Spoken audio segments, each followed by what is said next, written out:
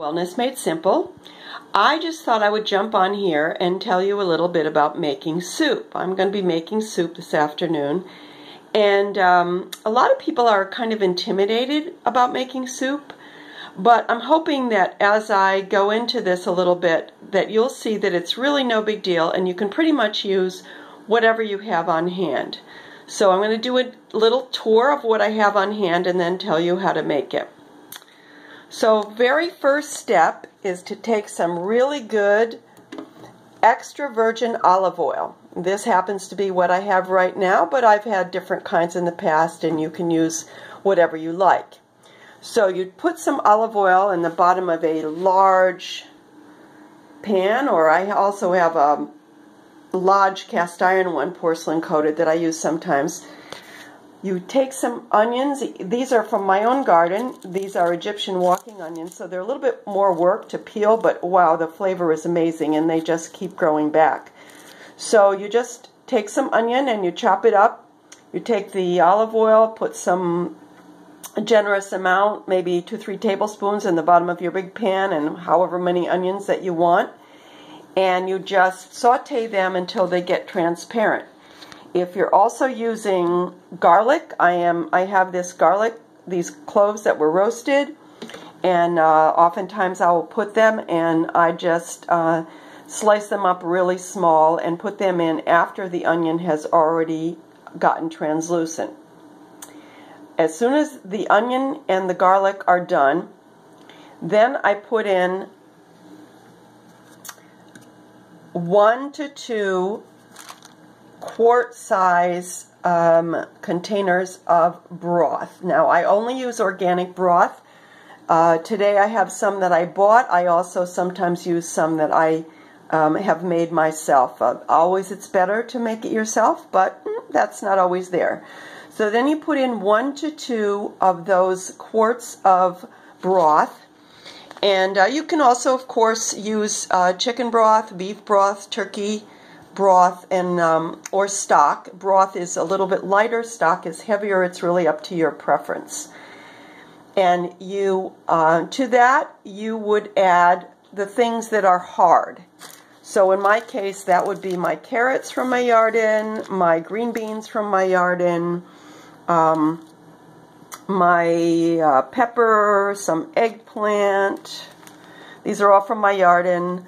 Uh, some potatoes, and so forth. Uh, whatever is hard is going to take a little time to cook. And then you leave them in there until the, the uh, broth starts to bubble. You can leave the top on or leave it off. It'll take longer if you leave the top off. Once it starts to bubble, you turn it down to simmer and you add your greens. In this case, I have beautiful carrot greens that were from my carrots. I also have some chard and some kale. That's from my uh, late summer, early fall, into fall garden. Um, and uh, anything else that you might have. I'll also be adding some, this is um, roasted and mashed uh, squash. I had a couple of squashes that I grew this summer and we just roasted and mashed them, so I'll be adding them. And the nice thing about that is it, it adds a creaminess to the texture without having to add any dairy or non-dairy substitute type um, adds. So then after you add all that, you just let it simmer for until everything is tender. Sometimes that's another hour, sometimes it's a couple of hours. You can just try it for yourself. Um, when it's done, oh, Later in the process, if you'd like, you can also add some beans. I'm a type B blood type, so I usually add white beans or red kidney. But you can look for your blood type and see what beans are good for you if you want to add protein to your soup, but still allow it to be vegetarian um, or vegan. Anyway, so when you're at the very end and everything is tender, what I like to do is check for what kind of a taste I'm trying to achieve. In my case, I very often will add uh, a drop of essential oil or two. Today I have pulled out just uh, for starters basil, cumin, lemon, and dill. I don't really know. Usually I wait until I see what that's going what what the soup seems to be calling me to do. Uh, of course, Himalayan salt.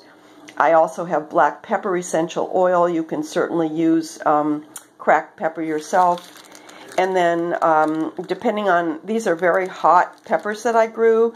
Depending on how hot you might, or spicy you might want your soup to be, you can add them in, uh, chop them, dice them, get rid of the seeds, and put them in early on for more spice.